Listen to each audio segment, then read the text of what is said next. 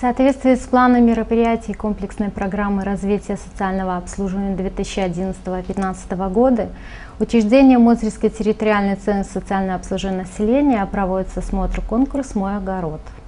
В конкурсе принимают участие одинокие и одиноко проживающие граждане пожилого возраста, старше 60 лет, ветераны Великой Отечественной войны, ветераны труда. Конкурс проводится в течение июля-августа месяца. Жюри выезжает на дачные огородные участки одиноких и одиноко проживающих граждан пожилого возраста. Члены жюри учитывают разнообразие и богатство растительного огорода, выставки сельхозпродукции. Победители конкурса награждаются грамотами Мозырского территориального центра социального обслуживания населения и памятными подарками.